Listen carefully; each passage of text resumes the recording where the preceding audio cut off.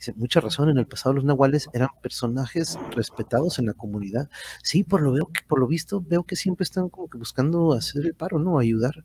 Este, hay un canal llamado Crónicas Obscuras. Ahí hay una historia de seis capítulos sobre nahuales, crimen organizado y venganza juntos. Está muy bueno. Te va a gustar. Ándale, ahí, ahí, está otra recomendación de estos canales que vaya que si hay bastantes que tienen estas crónicas o le dan relatos a eso, ¿no? Entonces, eh, vamos con el que sigue porque el que déjeme cambiar de imagen, déjenme los quito de aquí. Y déjeme poner esta imagen que viene. Órale, esa está curada. Este, me gustó porque se ve que le hicieron como que un, un pedazo de papel todo arrugado, pero el que viene se llama Un burro traía en su lomo a un borrego. Mi papá cuenta que hace muchos años se daba en Xochimilco el fenómeno del nahual, que es cuando algunas personas sufren transformaciones a animales por voluntad propia.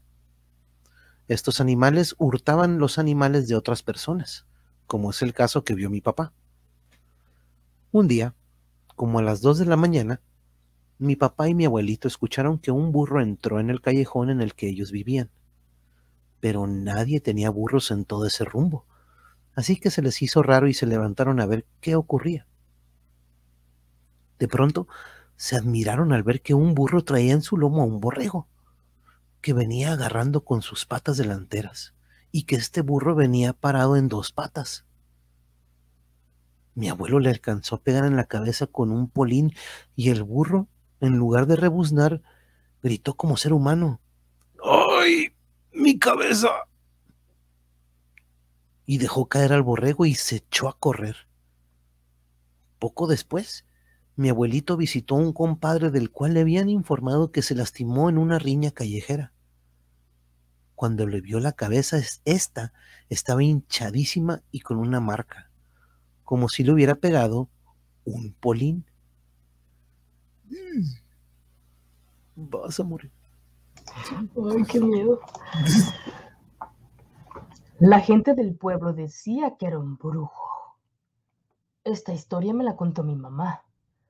Pasó en el pueblo llamado El Carmen, Tlaxcala. Dicen que una noche estaba acostada con su primer bebé y se quedó dormida. Cuando despertó no podía mover su cuerpo y enseguida vio un gato negro con los ojos muy brillantes a la orilla de la cama donde estaba el bebé. Ella quería asustarlo para que se fuera, pero como no podía moverse, trató de gritar, pero tampoco podía. Siguió intentando hasta que lo logró. Gritó y le habló a su esposo y a su suegra, eh, a todos. Estos entraron y le preguntaron qué pasaba. Ella les contó lo acontecido, y su suegra le dijo que podía tratarse de un náhuatl, persona que se convierten en animales, y que tal vez quería llevarse el bebé. Así que buscaron al gato y lo encontraron atrás de la puerta. El gato maullaba tenebrosamente y nos miraba muy rabiosos. Trataron de sacarlo, pero el gato no se iba. Así que le pegaron y así fue como lo sacaron. Una vez en el patio, el gato trató de huir, pero no lo consiguió, ya que lo agarraron y lo quemaron.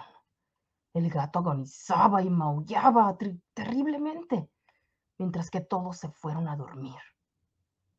Al otro día, las cenizas del gato ya no estaban. La sangre que había derramado por los golpes tampoco. No había nada. Semanas después, se enteraron que uno de sus vecinos había, sufrido quemaduras y que seguía muy enfermo. Al señor se le conocía porque la gente del pueblo decía que era un brujo y que los brujos se llevaban a los bebés. Se dice que sus amigos, los demás nahuales, fueron en su ayuda y por eso ya no había rastro de nada al día siguiente.